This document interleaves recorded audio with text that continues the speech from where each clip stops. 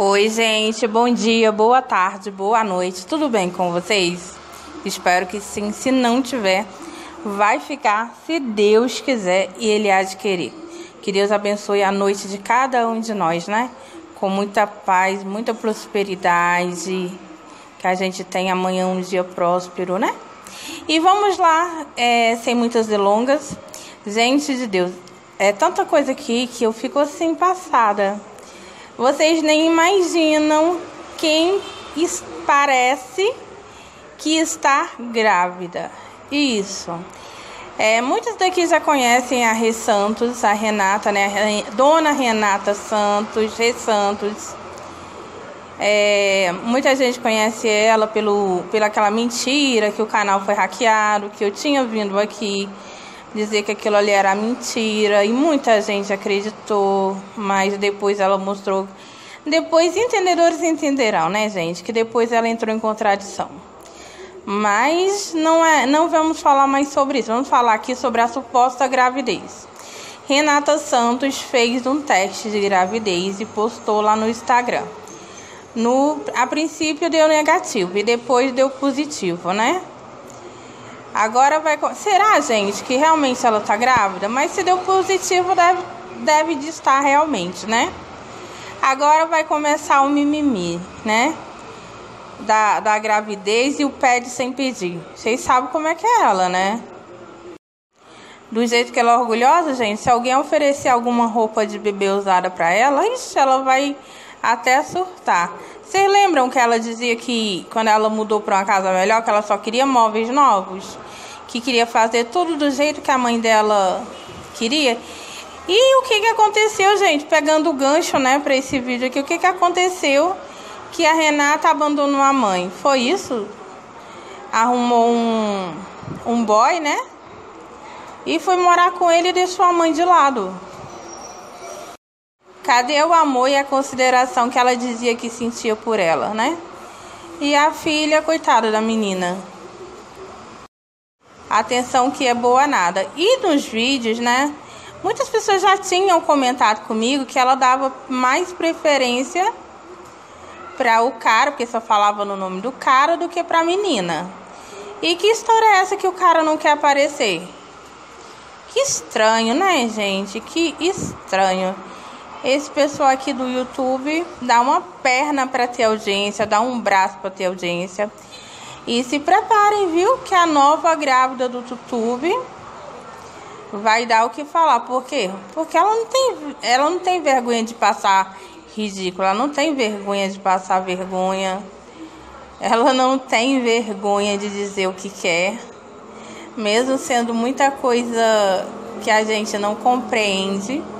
Por que, que não compreende? Porque, gente, a Renata, para quem não conhece, a Renata era pobre, pobre, pobre, pobre, pobre de Mavé DC. Lembrando que não estou desfazendo dela de maneira nenhuma. Mas é a realidade dela, né, gente? A realidade dela era muito feia, né? Pobreza não é bonito. Se eu viesse aqui falar que pobreza é bonita, eu eu estaria sendo hipócrita. Era uma realidade muito triste, na verdade.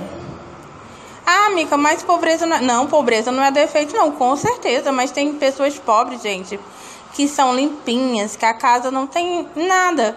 Mas é um brinco só. E a Renata não. Sempre foi aquela sujeira, aquela imundícia. Gente, eu já conheci pessoas no interior que eram muito pobres, que viviam em casas de terra batida, que você olhava ali para os canecos da mulher era a coisa mais linda do mundo, que dava gosto você beber, entendeu?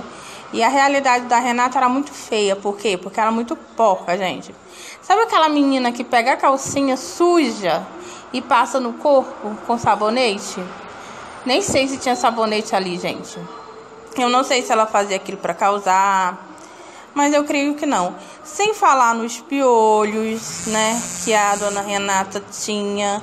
Tinha não, né? Deve ter ainda nos piolhos. Deixa eu ver se eu lembro mais de alguma coisa. Ah, quem lembra, gente? Ela lavando louça em cima do vaso sanitário da casa antiga. Aí ela começou a melhorar de vida, foi para um foi um condomínio, que esse condomínio tinha até piscina, gente. Era, tinha até piscina. E ela ostentava lá, né? Desfazia dos inscritos. Era era aquele aquele labacé, né? A Renata não tinha não alienação não existe naquela menina. E orgulhosa, ficou soberba, sabe? Aquilo ali subiu na cabeça dela e começou a inventar que tinha sido hackeado o canal, né? Para as pessoas irem se inscrever no canal dela. Eu vim aqui e falei, gente, isso é mentira, eu não acredito. Gente, eu não tenho bola de cristal, mas eu tenho sexto sentido que vocês nem imaginam como meu sexto sentido é aguçado, sabe? É aquela história, para meio entendedor, meia palavra basta. Pois é, gente, tá falando que tá grávida. Então vamos ver a cena dos próximos capítulos, né? Fez o teste, deu negativo, porque ela não, não soube fazer, na verdade, né? Aí depois deu positivo, dizendo ela que vai fazer um exame, né? Vamos ver. Pois é isso, gente. Vou terminando aqui o vídeo. Se vocês gostarem, dá um joinha. Se inscreva no nosso canal que eu vou agradecer imensamente do fundo do meu coração. Ah, não esquecendo que tentei fazer uma live, mas infelizmente não deu certo. Por quê? Porque caiu, gente. Fica travando. Não ia nem gravar vídeo hoje, porque meu dia hoje foi meio, meio corrido. Meio não, foi muito corrido. Não deu pra fazer nem a metade das coisas que eu tinha pra fazer. Aí eu ia fazer uma live de meia hora, mas infelizmente não deu certo na hora do almoço, né? Mas qualquer hora aí, gente, eu tô aí fazendo uma live pra gente conversar um poucão, tá? Pra gente colocar as fofocas em dias. E tá vindo babado aí, viu, gente? Tô só verificando se realmente é verdade pra trazer pra vocês aqui. Beijão, fiquem com Deus, tá? E até o próximo vídeo. Não esqueça de dar o joinha. Tá? E lembrando que você também, que entra aqui no nosso canal pra dar deslink, pode dar, gente. Não tem problema. Serve também. Beijão, gente. Até o próximo vídeo. Fiquem com Deus.